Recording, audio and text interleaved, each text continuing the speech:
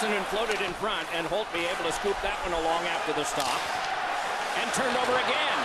Back in. Score! Congratulations, Washington Capitals! You are once again unable to make it past the second round of the playoffs. In fact, you've reached an illustrious milestone in your legacy of failure. Here's John to give us the deets. Capitals, you have some wonderful prizes lined up for you this offseason. First off, you have to deal with the expansion draft which means that you will be losing a player like Dmitry Orlov or Philipp Grubauer to Las Vegas. More importantly, guys like Evgeny Kuznetsov and Andrei Burakovsky are due for huge pay raises, which means that you will be losing a combination of TJ Oshie, Justin Williams, Karl Alzner, and Kevin Shattenkirk to free agency.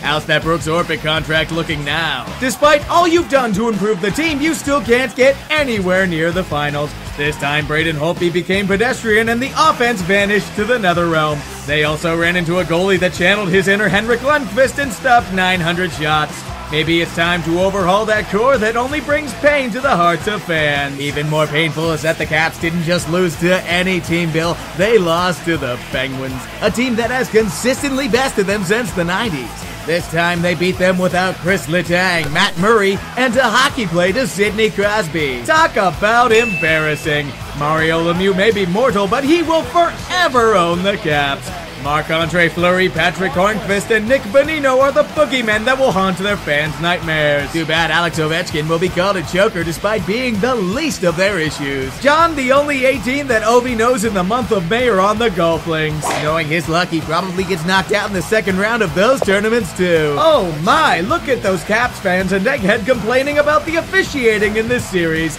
All this salt is making me thirsty. Too bad you can't drink anything. Why's that? No cups. This joke will never get old.